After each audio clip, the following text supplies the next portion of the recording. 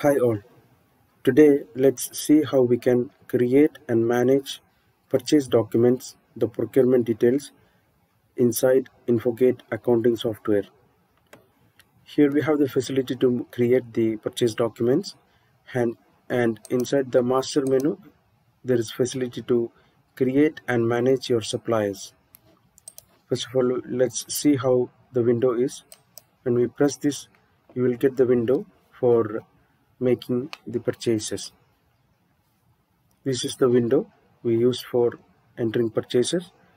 You can enter the invoice date here and choose the same here. Also, the document number for the purchase entry, the internal document number is automatically generated and you can enter the invoice number from the supplier here. And then choose the supplier here by selecting the supplier name or by pressing this facility we can choose the supplier. Now this is blank.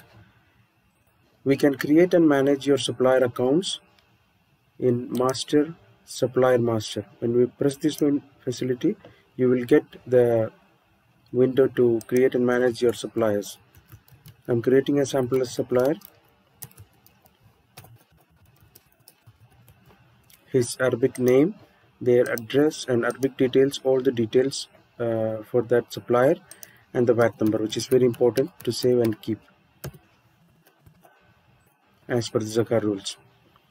And this facility we can choose uh, fill pending records in supplier payment which will be helpful to load these particular suppliers pending invoices while we are making payments and then save the supplier. And you can create and manage all the suppliers over here. After that we will come back to the purchase window and then choose the supplier over here.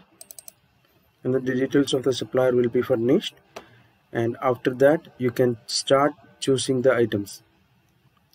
By referring to the document from the supplier we will start choosing the items from our inventory when we press the the letters it will be filtering according to the name uh, or according to the letter. And then you can start choosing the items one by one. By press enter this will be loaded to here. And then you can enter the quantity. And you, then you can enter the rate of the purchase. For example if it is 100 riyal and the VAT will be affected automatically. And then you can click down. It will come down to the list and then repeat the process for each item from the uh, document from the supplier and then fulfill the document. The and the document amount and totals will be matched here. And after everything is okay if the document is local means uh, purchasing from the location locally you can choose local or either if you are bringing the doc uh, commodity from uh, outside the kingdom then you can choose foreign. If it is foreign purchase then you can enter the other uh, expense details in this section. Other expense details like other direct expenses like government clearance charges customs clearance charges transportation charges or all other uh, direct expenses pertaining to this document can be listed and add it to this document. For example like this you can choose the choose the expense details. Now here this will list all the documents uh, all the accounts for the uh, for this software either assets or something. Then you can enter your expense accounts in accounts master. This facility is actually uh, to create and manage your chart of account inside the software. Now for example i'm creating one sample account for the customs clearance charges.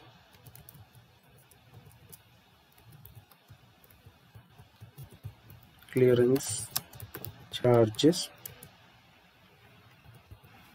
And then the Arabic uh, details for the name and the type will be expense masroof and the group will be direct expense and the uh, name for the group. You can enter if it is optional. And then you will save the ac account in the chart. And then you can choose that account over here the customs clearance charges. And after that you will enter the uh, amount of customs clearance. And if it is affected to 15 percentage VAT and you have the document separately for the this voucher from the supplier. You can choose 15 percentage. And then you can choose the supplier and manage them. Who is providing the service for the customs clearance or any other expenses. For example transportation services like this. And then you can narrate if it, if it is anything to be narrated. Here you can narrate them and then click enter this plus it will come down. And the total of this voucher uh, these expenses will be affected to this purchase document. This foreign purchase document. And the value of this expense will be divided and affected to this rate automatically in our, in our inventory which will help to manage the costing.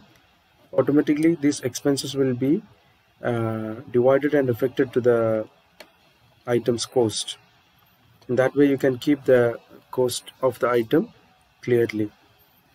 And then all the entries if the all entries and everything are okay and then you can choose the bill type here. Either it is cash or credit you can choose. If it is cash it will affect directly to the cash account in the chart. If it is credit it will affect to the payable account under this ledger for the supplier.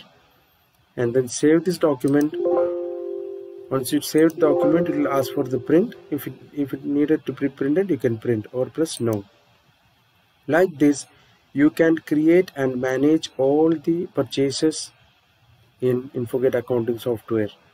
When we press previous, you can find the details of the purchase. And when we press, you can select the purchase details that you have entered. And you can filter the purchase details according to these criteria. Once you enter the purchases, the stock is automatically affected. For example, this sample item inside the inventory, now 10 more pieces is added.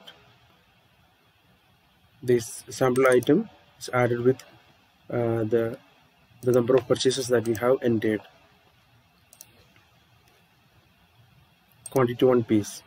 Like this you can save and manage your purchases and after getting the uh, purchase entries the reports for the purchase this section is open you can filter the total cash purchases only credit purchases only the total purchases, item wise details with purchases and all the details of the purchases will be open from this menu, from this module area. And if the purchase is credit, for example, if the purchase is credit like this, then as I uh, had referred, the the total is flowing, the total will be affected in the payable account in the chart under this ledger for the supplier.